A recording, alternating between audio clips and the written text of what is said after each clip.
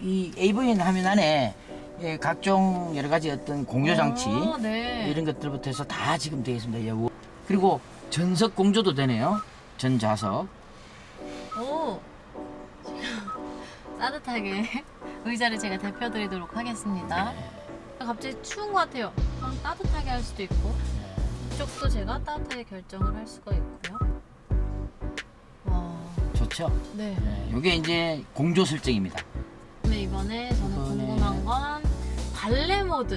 예.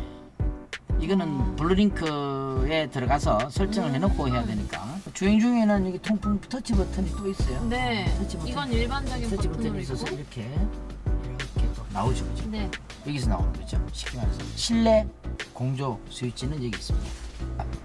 아, 블랙박스 아시죠? 네. 블랙박스를 이제 built-in cam이라는데 음. 블랙박스는 달면은 돌출용으로 이렇게 블랙박스가 나와 있지 않습니까? 네. 돌출용이에요. 근데 built-in cam은 네. 아, 숨겨져 있다는 거죠. 음. 카메라 형식으로 숨겨져 있다는 거죠. 네. 그리고 지금 보시면은 어, 지금 이 차는 지금 옵션 사항이 좀 틀려서 그런데 네. 어, 보시면은 사이드 미러가 카메라가 아니죠. 디지털 사이드 미러가 아니에요. 네. 근데 네. 일반 사이드 미러예요. 네. 근데 만약에 옵션에 디지털 사이드 미러, 즉 DSM, 즉 디지털 사이드 미러를 옵션에 넣으면은 어, 여기는 카메라가 달려요. 네. 그래서 미세하게 요만큼 달립니다. 이렇게. 그러니까 이게 좀 크죠? 시야가 큽니다, 이거는. 근데 작게 달리니까 그만큼 시야를 더 확보할 수 있겠죠. 그래서 그런 부분들이 좋고, 그리고 시야각, 즉 화각이라고 하죠. 화각이 일반 사이드 미러는 약 한 16도밖에 안 나와요. 보는 각도가. 사각지대라고. 보는 각도가 16도인데, 디지털 사이드 미러로 보게 되면은 약 27도까지 올라가요. 화각.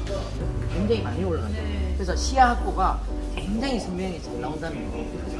그래서 가급적이면 디지털 사이드 미러는 옵션에 꼭 어, 고객님들이 선택하시는 게 좋을 것 같아요. 선택. 네. 근데 이거는 그냥 서랍식으로 여- 그냥 미닫이로 돼 있어요. 어. 열고 닫고 그냥 미닫이로 돼 있고 네. 활용이. 훨씬 더 많네요. 공간도 안에 굉장히 넓죠. 네, 네. 그렇게 돼 있어요. 네, 메모리. 와. 미리 네. 모드 1, 모드 2, 모드 3. 제가 타는 날, 네. 뭐 저희 아버지가 타는 날, 어머니가 타는 날 다 설정을 다르게 해놔도 될 것 같아요. 자 거기서 승하차 편이라고 있죠 금방. 승하차 편이. 그죠 네. 그 버튼을 한번 보십시오. 자 시트 앞뒤로 이동.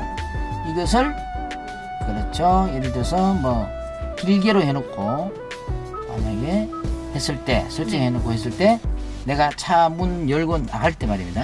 아. 예 좌, 좌석 자체가 네. 쭉 빠집니다 뒤에. 네, 네, 쭉 네. 빠지고 편리하게 내리라는 이야기죠 제가 음, 이 기능에서 길게를 눌러놓고 예, 키오프를 키 오프를 했어요. 예, 그럼 전 이제 내릴 거예요. 예. 오, 뒤, 예, 시트가 네. 빠, 빠지죠, 그지? 네. 예, 제가 더 내리기 편하게. 편하게 그렇게 돼. 다시 카드를 자동으로. 넣어주세요. 가네요. 이게 메모리 시트 기능이네요. 그렇습니다. 그래서 말 그대로 승하차 할 때 편의를 봐준다 해서 승하차 편의군요. 그렇죠. 자, 그 다음에 헤드업 디스플레이 한번 버튼 눌러보시기 바랍니다. 예. 자, 여기 보시면은, 음, 증강현실 모드가 있죠, 제일 위에. 예. 증강현실 모드 저거를 클릭해 놓으면은 네, 주행하실 때, 네. 어, 이 왼쪽 화면에 증강현실, 실제로 오. 어, 영상을 보는 것처럼 와. 실도로처럼 네. 이렇게 보이는 게 네. 증강현실 모드예요. 음. 이걸 설정해 놓고 가시면은 앞유리 쪽에 네. 헤드 디스플레이라고 해가지고 와. 앞유리 쪽에 이제 내가 몇 킬로 달리고 있고 이런 부분들이 네. 예, 여러 가지가 같이 나타납니다. 음. 그게 어, 헤드업 디스플레이죠.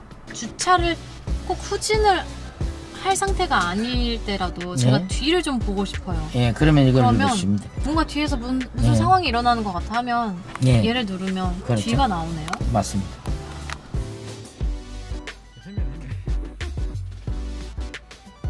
수납 공간으로 사용하죠. 아, 가방 같은 것도 네. 넣고 필요한 물품들 넣으시면 됩니다. 그 얼음하고 같이 그 넣어도 되겠네요? 그렇겠네요. 어. 어. 자동이 올라가네요? 네, 이것도 안전 장치가 설정되어 있어서 안전 기능이 탑재되어 있습니다. 다양한 안전 기능이 많이 아이오닉 8에는 장착되어 있다고 보시면 될 것 같습니다.